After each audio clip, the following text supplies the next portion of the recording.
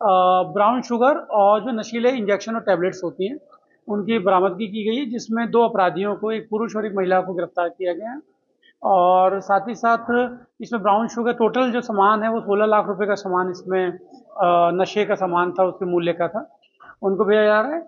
और इसके अलावा मैं आपके माध्यम से ये अपील करना चाहता हूँ कि किसी प्रकार का यदि नशे का व्यापार कहीं भी कुछ होता है तो उसका मैसेज जो है हम लोगों को दें हम उस पर त्वरित से त्वरित कार्रवाई करेंगे।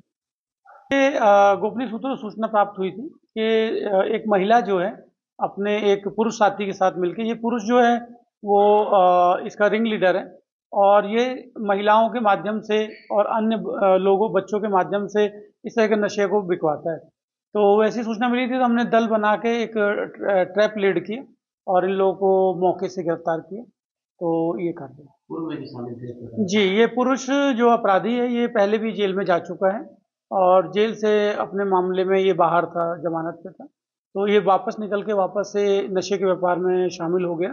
तो इसलिए इस पर अब फिर से पुनः इसके द्वारा ये गतिविधि करने पे सूचना प्राप्त होने पे इस पर कार्रवाई। हमसे जुड़े रहने के लिए हमारे YouTube चैनल को सब्सक्राइब करें और नई वीडियो की नोटिफिकेशन के लिए बेल आइकॉन को दबाएँ।